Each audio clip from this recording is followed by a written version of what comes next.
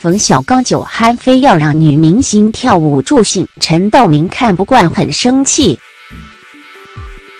最近几个月来，崔永元和冯小刚的撕逼大战一浪高过一浪，包括崔永元在内的很多明星对冯小刚的为人口诛笔伐。讲真，冯小刚在做人方面很多都不及格，甚至有性骚扰之嫌。不信，通过下面这个事情可见一斑。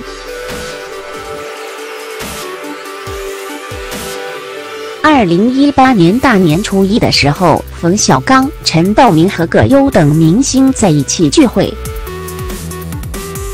吃完饭，这些男明星们一个一个喝的有些大了，说话嘴都有些不利索。也许陈道明没有喝酒，或者喝的很少，自告奋勇弹起了钢琴。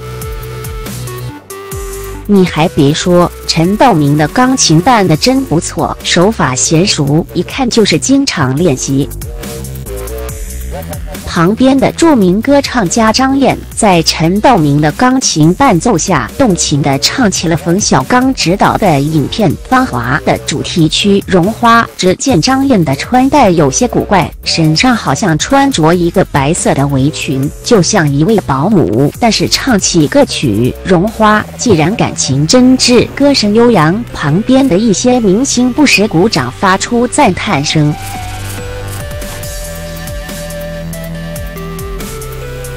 等张燕唱完歌曲，这时候冯小刚提议说：“不如让《芳华》的女主角苗苗给大家跳一段舞蹈。”冯小刚接着说：“我为什么选苗苗当《芳华》女主角？让大家看一下。”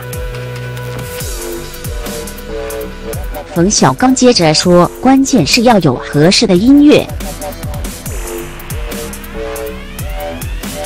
但是冯小刚又犹豫了一下，说：“苗苗今天穿着高跟鞋不方便。”这时候陈道明说：“首先，苗苗作为一个演员，在这种场合跳舞是否合适？第二，苗苗穿着高跟鞋不便跳舞。”这时候旁边有人起哄说：“跳就跳呗。”这句话立刻惹怒了陈道明。此刻的陈道明嘴上叼着烟卷，对着起哄的人骂了一句脏话：“TMD，你们没看过舞蹈啊？”这时候旁边来了一位明星，非要按住陈道明，让他弹钢琴伴奏。陈道明无奈，只好坐在钢琴椅子上准备伴奏。就在众人喧哗争来争去的时候，葛优一直坐在楼梯上，一言不发，静观其变。从葛优的这一个小小举动，不难发现葛优的人品。更难能可贵的是，后来苗苗真的跳舞了，但是葛优还是不时地提醒说：“比划比划就行了，别披下，差不多就行了，并不时为苗苗的精彩表演啧啧称。葛优在娱乐圈一直以好人著称，这不仅表现在葛优的德艺双馨上，更表现在葛优为人处事的细节上。做什么事情总是考虑别人的感受，总是顾及当时的氛围，不能做的事情坚决不能做。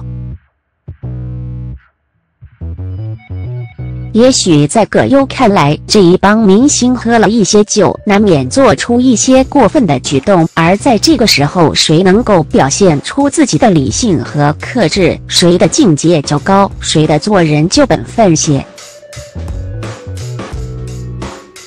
喝了酒的男人醉意朦胧地让一位女明星在别人的家里翩翩起舞，与其说是欣赏，倒不如说是借着酒劲发疯。这时候已经无所谓艺术了，只是因为借着酒劲来发泄自己，这对艺术来说已经是一种亵渎。更难堪的是，这对跳舞的女明星来说也是一种不尊重。